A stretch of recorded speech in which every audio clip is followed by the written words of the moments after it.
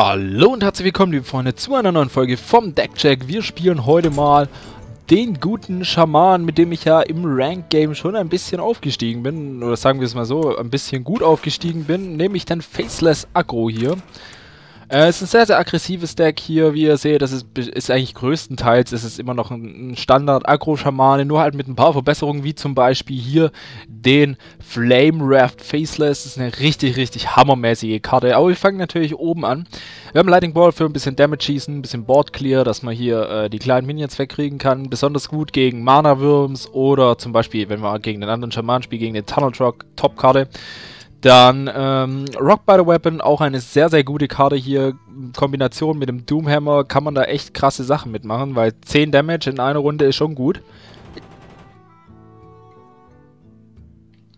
Aber ich entschuldige mich, ich musste gerade richtig hart niesen. So, jetzt geht's weiter. Äh, dann Abuse of Sergeant natürlich zum Buffen der Minions, dass sie ein bisschen stärker werden. Äh, Argent Squire zum bisschen Lücken füllen. 1-1 für einen Mana mit äh, Divine Shield ist echt top kann man gut mit dem Abusive Sergeant kombinieren, um irgendwas zu clearen, ohne dass ein Minion stirbt. Äh, Shifter Cerus ist so eine Karte, der kann man sich überlegen, ob man die spielen will oder nicht.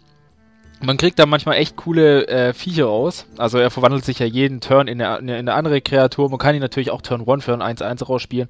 Aber ich würde ihn immer eigentlich halten, weil er halt echt krass werden kann. Ich weiß gar nicht, ich habe da glaube ich mal einen Ragnaros einfach mal rausgezogen oder sowas. Ist also echt eine Top-Karte. Ist eine, wirklich eine Top-Karte.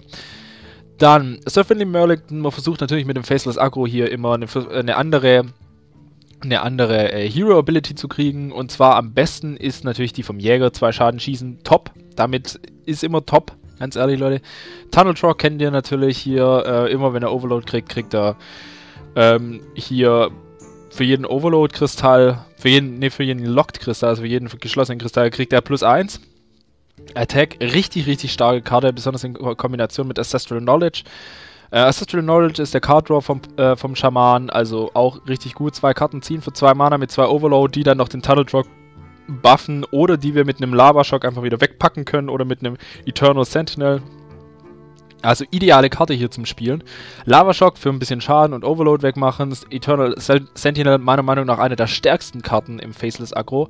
Einfach wenn wir eine 3-2er, einen 3-2er Minion haben und unser äh, Overload einfach wieder anlocken. Top, top Karte einfach nur, absolut sick.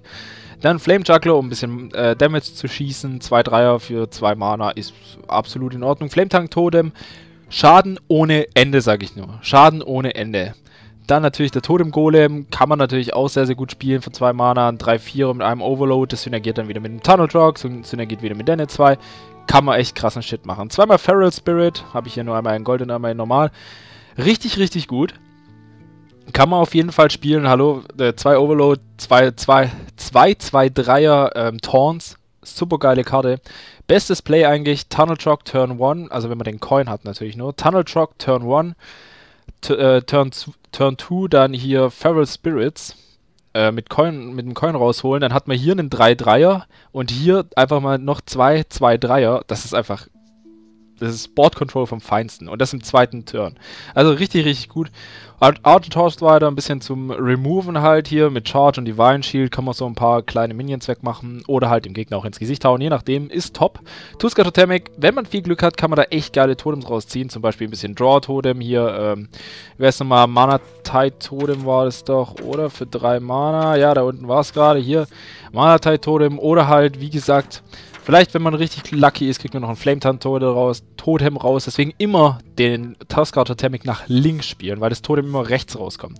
So, dann Flame Raft Faceless, eine der stärksten Karten wirklich meiner Meinung nach von diesem Set. Ist auch noch eine Kommen, ne, eine Ankommen ist natürlich, eine Ankommen.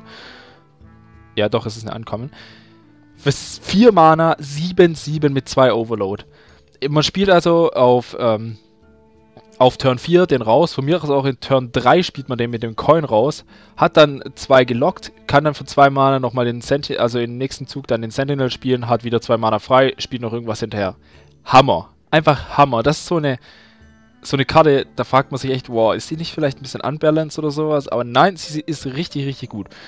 Doomhammer, ja, kennt man ja natürlich. Wind Fury kann man den Gegner klatschen. In Kombination mit Rock Biter Weapon absolut hammermäßig. 10 Damage oder halt, wenn man zweimal Rock by the Weapon drauf spielt, sind es halt eben mal kurz 16 Damage, wenn ich jetzt, wenn ich mich jetzt nicht verrechnet habe. Nee, doch, 16, 2 mal 8. Ja, 16 Damage, absoluter Hammer. Ihr müsst mir überlegen, 16 Damage, das ist mehr als die Hälfte eures Healths. Einfach absolut sick. Ja, und den spielen wir jetzt auch gerade mal, damit ich euch noch hier ein bisschen den Maligan erklären kann und alles. Wir spielen das Ganze im Rank, die neue Season hat ja angefangen. Ähm, ja, los geht's. Auf los geht's los, hätte ich mal gesagt. Ich werde jetzt auch in dieser Season versuchen, ähm, ein bisschen mich wieder hoch zu pushen. Also mein Ziel für diese Season ist mindestens Rang 10. Wenn nicht sogar noch ein bisschen höher, da wird mir wahrscheinlich äh, der Schamane hier ganz gute Dienste leisten, habe ich so das Gefühl. Weil er halt echt, äh, ich habe jetzt, ich glaube, äh, ein paar Spiele gespielt. Ich hatte eine, eine ich weiß gar nicht, wie, wie viele Wins in a row ich hatte, aber es waren schon einige. Also die Hand hier ist jetzt nicht gerade das, was wir sehen wollen. Im Maligen versuchen wir natürlich immer, wirklich immer, entweder einen Tunnel Truck zu kriegen, einen Golem oder sonst irgendwie was. Also ein, am besten eigentlich Sir Finley Merling, Murgleton, dann den Golem oder halt ähm, unseren Tunnel Truck. Das ist so das, wofür wir, wonach wir suchen. Natürlich kann man so Pech haben wie jetzt, aber das ist eigentlich kein Problem. Wir haben ein schönes Removal. Falls wir jetzt immer noch nichts ziehen, benutzen wir die Hero Ability natürlich, kriegen jetzt den 1-1er raus, ne, den 0-2er Heal, der sich selber healt. Ist eigentlich auch okay. Wir können jetzt Turn 3, spielen wir das hier, Feral Spirit, oder wir warten auf Turn 4, machen den äh, Flame Wrath Faceless. Es kommt immer darauf an, was wir jetzt ziehen. Wenn wir jetzt was Gutes ziehen, könnten wir rein von der Theorie her die hier spielen, dann nächsten Turn das hier und dann den raushauen. Totem Golem muss ich mir jetzt mal überlegen. Ne, das wollen wir eigentlich nicht. Oder wollen wir doch? Ne, wollen wir nicht. Spielen also doch den Totem Golem. Einfach weil wir den Abusive Sergeant noch rausbringen können und hier den Trade veranstalten. Das ist jetzt sehr, sehr wichtig gewesen, weil das kleine nervige Viech, die äh, Sorcerer's Apprentice, ist einfach echt ätzend. Spell zu 1 weniger, das wollen wir natürlich nicht. Kommt der Frostbolt, kann er noch irgendwas hinterher machen. Achso, er Coin, setzt den Ping auf den Abusive Sergeant natürlich. Weil der Ding ja noch gefreezed ist. Sollen wir es schon riskieren oder sollen wir noch auf die Combo warten? Combo Wombo und so. Wir spielen jetzt, komm, wir machen das jetzt einfach. Ah, obwohl, es ist halt, es halt es wäre schon ein bisschen wasted. Holen wir uns jetzt das hier raus. Guck mal, was es ist, je nachdem, was es spielen wir. Och, komm, wir spielen den jetzt raus. Tunnel Truck raus. Es könnte natürlich sein, dass wir jetzt halt irgendwas ins Gesicht kriegen, äh, irgendwas auf unseren Tunnel Truck direkt drauf kriegen, wie ein Frostbolt oder sowas. Aber damit muss man halt immer rechnen. Gerade weil das halt so Minions sind, die halt jeder wegmachen will. Okay, er haut das weg, hat dann jetzt noch den Frostbolt für den Tunnel Truck. Nee, er, wächst, er gibt den Zug einfach ab. Was ich sehr, sehr geil finde, weil jetzt spielen wir nämlich die Combo Wombo. Und zwar machen wir so. Haben dann Overload machen den Overload einfach weg, indem wir ihm zwei Schaden schießen, hauen ihm nochmal drei und können dann im nächsten Zug ganz easy hier die, den Flame Raft Faceless spielen. Könnte ganz gut werden, das Spiel. Könnte ganz gut werden, muss aber nicht. Der, der Magier ist ja für alles offen. Ab 7 Mana ist das Board eh clear meistens. Also von dem her geht das schon ganz klar beim Magier. Er könnte jetzt für 3 Mana, wenn es ein Cthulhu-Magier ist, könnte diesen komischen kleinen Panda-Bären spielen, der Cthulhu schreit und hier zwei Schaden drauf schießen, ping, fertig. Dann wäre es auf jeden Fall schon mal Board wieder ein bisschen clearer. Er spielt ein Secret. Ein Secret. Okay, jetzt ist natürlich die Sache, was ist das Secret? Und da wir das rausfinden wollen, gucken wir einfach mal, spielen wir das hier. Es ist auf jeden Fall kein Ding, dann ist es vielleicht ein Counterspell. Ähm, wir spielen den ja raus. Der hier wird ein bisschen gebufft. Jetzt gucken wir mal, was es hier ist. Es ist ein... Ah, es ist eine Ice Barrier. Das ist doch okay. Mit einer Ice Barrier komme ich klar. So, zwei und zwei und fünf und los geht's. Nächsten Turn dann Doomhammer into Rockbiter. Oder haben wir genug Mana? Wir haben jetzt gerade sechs. Wir kriegen zwei. Ne, reicht leider nicht. Dann halt nur Doomhammer raus. Aber dann ist Hammer Time, liebe Freunde. Dann ist absolut Hammer Time. Und wir klopfen ihn den Hammer so ins Gesicht, ey dass er nicht mehr weiß, wo der Morgen ist. Polymorph. Schade eigentlich. Wäre ganz nett gewesen, wenn wir den jetzt wegmachen könnten. Es war jetzt nicht so eine intelligente Idee, hier den wegzumachen. Meiner Meinung nach natürlich. Jetzt muss ich mich mal ganz kurz räuspern. So.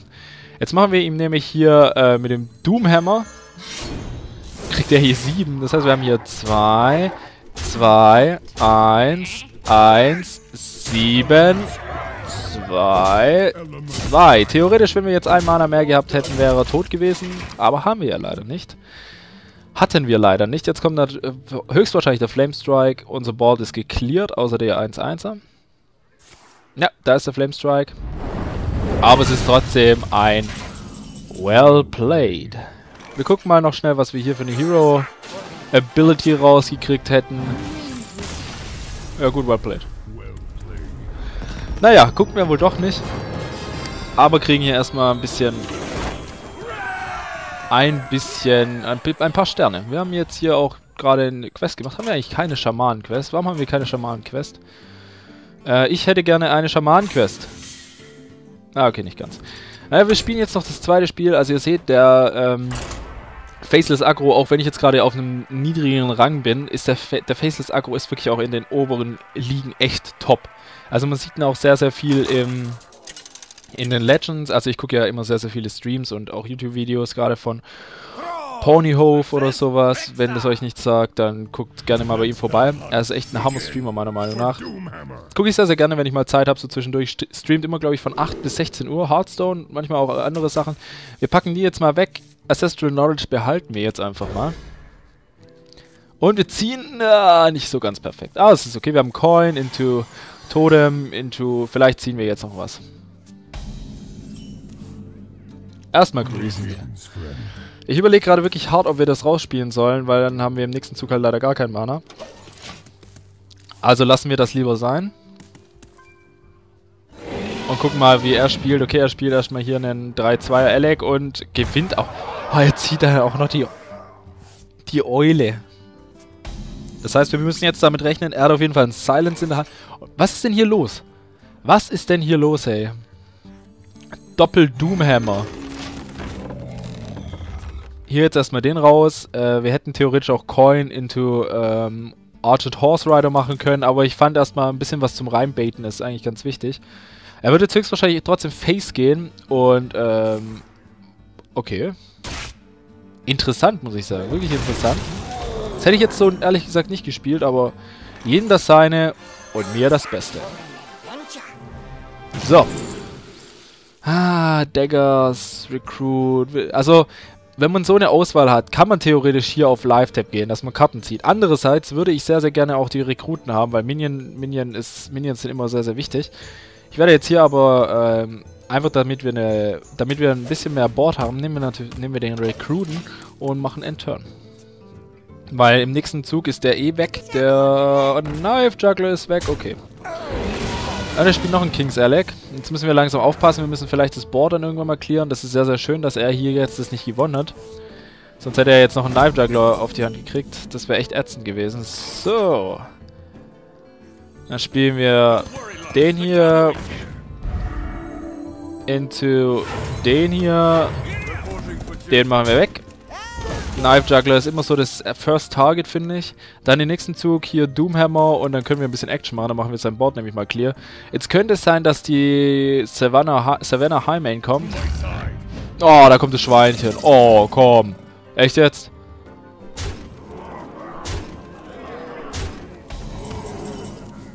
Das hat jetzt ganz schön wehgetan, muss ich sagen. Ja, komm, Doomhammer raus. Was soll's? So, dann machen wir hier zack. Machen wir hier zack. Machen wir hier zack. Und machen wir hier zack. Alter, sind die laut, die komischen Elefanten, ey. Ich hoffe, das ist nur auf meinem Ohr gerade so laut. Ich hoffe, das ist bei euch nicht so extrem laut. Kommt der Eagle Hornbow mit Kombination von Ding. Wir sind... Der Facehunter ist doch noch ein bisschen aggressiver als wir im Moment. Wir sind auf 6 HP runter. Alter, das ist nicht gut. Da hat er ja echt ein bisschen besseren Start als wir. Jetzt müssen wir mal gucken, dass wir hier ein bisschen das Board aufgeräumt kriegen. So, hauen ihm für 4. Jetzt ist halt das Problem, selbst wenn er jetzt nur ein Ding hat, er macht uns alleine schon so 5 Schaden. Er muss uns nur noch einen Schaden drücken, dann ist es vorbei. Das ist nicht cool, Leute. Ah, der Knife Juggler. Da hofft er natürlich... Ja, jetzt hofft er natürlich auf das Knife hier drauf, aber ich hoffe, ich treffe, er trifft nicht. Nein, okay, well played. Naja, so kann es natürlich gehen. Dieser ganze Beast-Ding äh, ist echt krass inzwischen geworden, muss ich schon sagen. der ähm, Beast Hunter. Weil das war jetzt komplett ja nur mit Beast gespielt. Finde ich eigentlich ganz interessant, dass der so steil geht. Gerade müssen wir uns vielleicht auch mal angucken. Auf jeden Fall bedanke ich mich recht herzlich fürs Zuschauen. Wenn es euch gefallen hat, dann lasst einen Daumen nach oben da, schreibt was Schönes in die Kommentare. Und wenn ihr Deck-Ideen äh, habt oder einfach mal wollt, dass ich ein Deck ausprobiere, dann schreibt mir das auch gerne in die Kommentare. Ich gucke dann sehr, sehr gerne nach. Und ja, vielleicht probiere ich das Deck dann einfach aus. Hier seht ihr nochmal, wie das Ganze aufgebaut ist. Wie gesagt, man kann damit sehr, sehr hochkommen. Ich habe den Schaman auch schon im Legend-Bereich im Legend gesehen, in gewissen Streams und auch in Videos. Also, also ja, ich habe einen ähnlichen Schamanen gesehen. Also, manche Leute spielen den hier nicht, andere Leute spielen ähm, den Flame, äh, den Flame Juggler nicht, manche Leute spielen den Argent Horse Rider nicht oder den Tuscato Tamic. Das ist immer so, so Ansichtssache, je nachdem, wie halt der Spielstil ist, finde ich. Auf jeden Fall sage ich dann mal vielen, vielen Dank und man sieht sich beim nächsten Hearthstone-Video oder bei einem anderen Video auf meinem Kanal. Bis die Tage denn. Türlü.